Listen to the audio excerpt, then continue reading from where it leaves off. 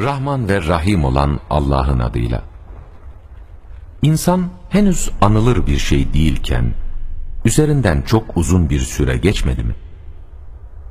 Hiç kuşkusuz biz insanı karışık bir nutfeden yarattık. Biz onu deneyeceğiz. Bu yüzden onu işitir ve görür kıldık. Gerçekten biz ona yolu gösterdik. Şükreden veya nankörlük eden biri olmak artık ona kalmıştır. Ancak biz nankörlük edenler için zincirler, demir halkalar ve alevli bir ateş hazırladık. İyilerse karışımı kafur olan bir kadehten içeceklerdir. Bu Allah'ın kullarının içecekleri akıttıkça akıtacakları bir pınardır. Onlar adaklarını yerine getirirler, kötülüğü her tarafı kuşatacak olan günden korkarlar, çok sevmelerine rağmen yine de yiyeceklerini yoksula, yetime ve esire yedirirler ve onlara, biz sizi sırf Allah'ın hoşnutluğu için doyurmaktayız. Sizden ne bir karşılık ne de teşekkür bekliyoruz. Çünkü biz yüzleri asacak olan o dehşetli günde Rabbimizin azabından korkarız derler. Allah onları o günün kötülüğünden koruyacak, yüzlerine bir parlaklık ve gönüllerine sevinç verecektir. O onları güçlüklere göğüs germelerinden ötürü cennetle ve ipekten giysilerle ödüllendirecektir. Onlar orada koltuklar üzerine yaslanacaklar ve orada ne yakıcı bir güneş ne de dondurucu bir soğuk görecekler. Cennet ağaçlarının gölgeleri üzerlerine sarkacak, meyvelerini toplamak ise kolaylaştırılacaktır. Aralarında gümüşten kaplar ve ölçülerini kendilerinin belirledikleri billur gibi gümüşten kaseler dolaştırılacaktır.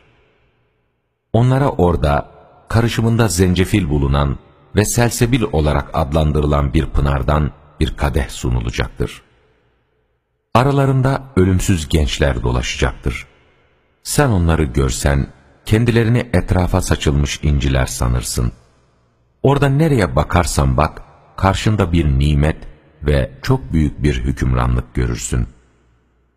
Üzerlerinde ince ve kalın ipekten yeşil giysiler olacaktır. Gümüş bilezikler takınacaklardır.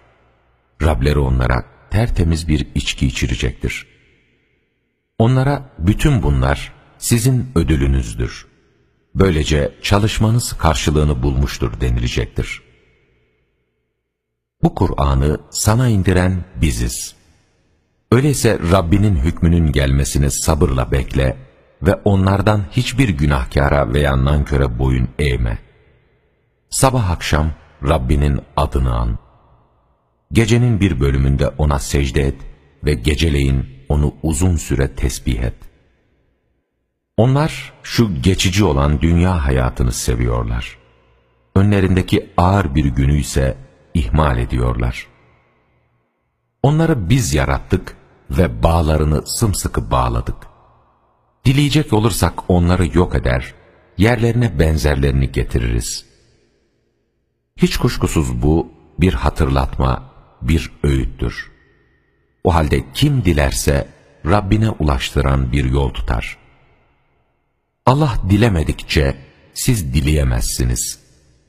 Kuşkusuz Allah çok iyi bilen, çok bilge olandır. O dilediğini rahmetine sokar. Zalimlere gelince, O onlar için can yakıcı bir azap hazırlamıştır.